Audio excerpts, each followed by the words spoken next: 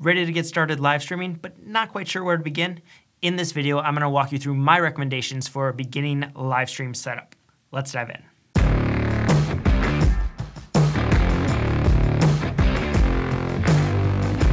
Hello everyone, my name is Nick Palkowski, and on this channel we cover all things videography and live streaming in order to help you grow your business.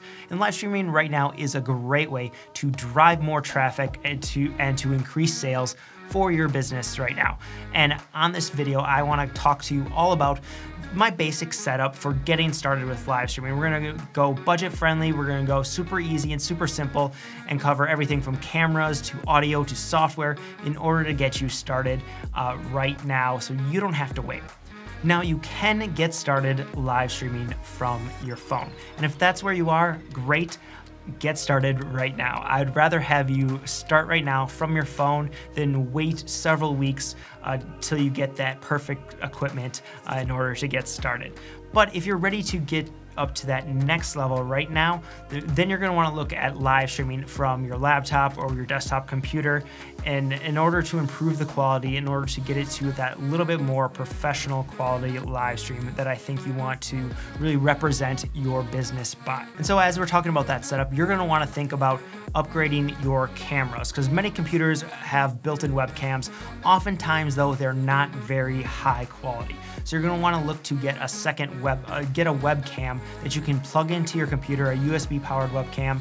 My favorite one is the Logitech C920. That's a great webcam that's uh, gonna give you nice quality visuals and really uh, take your, your live stream up that next notch and just be a little bit more professional.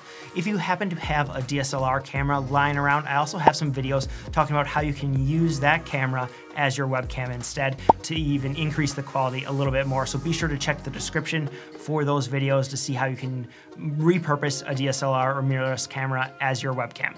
The next thing you want to think about is your audio. Audio is critical. Honestly, I, I, would even go as high as say that audio is probably more important than your video when it comes to live streaming. You want to be sure that people can hear you and you sound really crisp and clear. So you're going to want to make an investment in some sort of USB microphone or a, a uh, interface that is going to allow you to plug a microphone into your computer. You're not gonna wanna use the microphone built into your computer, especially if you're looking to repurpose this content in some way, shape, or form afterwards, whether it's putting the recorded video up on YouTube or breaking it out into smaller pieces of content or even putting it out on a podcast, you're going to want to have higher quality audio than what you're gonna get from that built-in computer.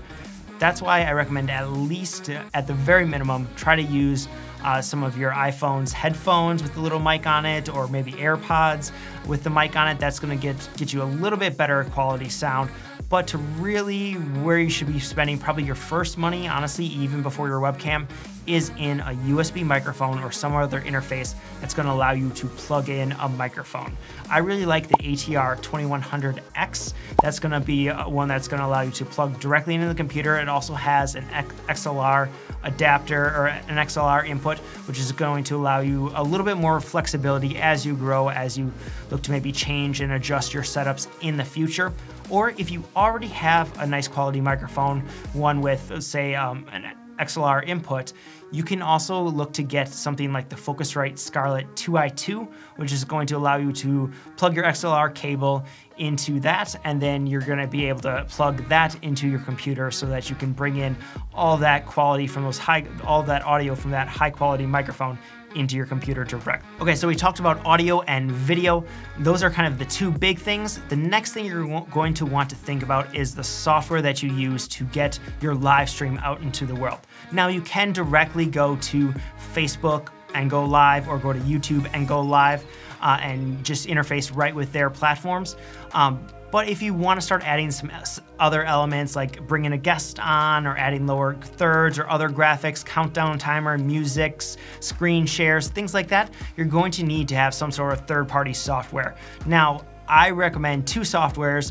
Uh, the first one is going to be Ecamm Live. That's going to be for Macs. If you have a Mac, definitely recommend checking out Ecamm Live. That's going to be a great software that's going to allow you to do a lot of really cool things. Now, I do have an entire tutorial on Ecamm uh, coming out here soon in the near future, so be sure to subscribe to the channel if you haven't already, and even turn on notifications so you don't miss that entire tutorial. It's going to be a complete walkthrough of how to use and set up uh, Ecamm in order to run your live streams at a very professional level.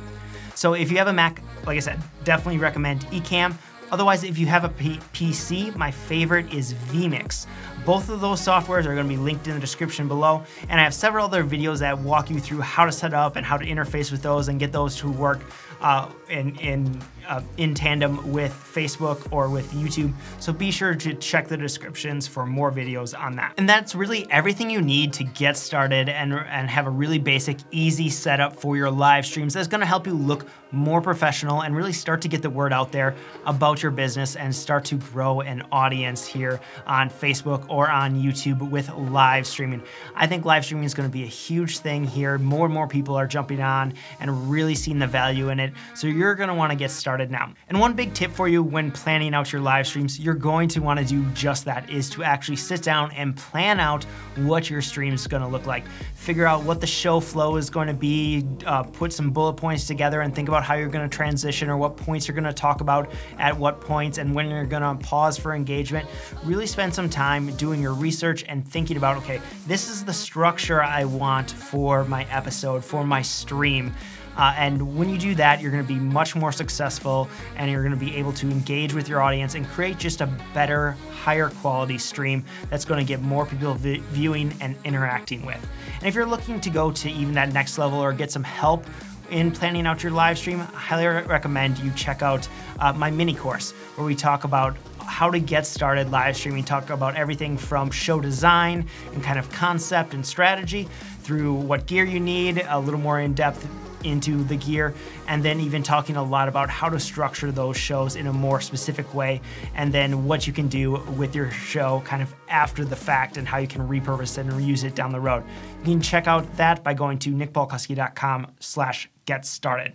And so I wanna know, have you gone live yet? And if you have, which platform do you prefer? Do you like to go live on Facebook or YouTube or even Instagram? Let me know in the comments below and be sure to tell me what your favorite thing about live streaming is. And thank you so much for tuning in. Good luck with your live streams. Be sure to give this video a thumbs up if you enjoyed it. Also, don't forget to subscribe to the channel because we're releasing new videos every single week. And until next time, I'll see you in the next video.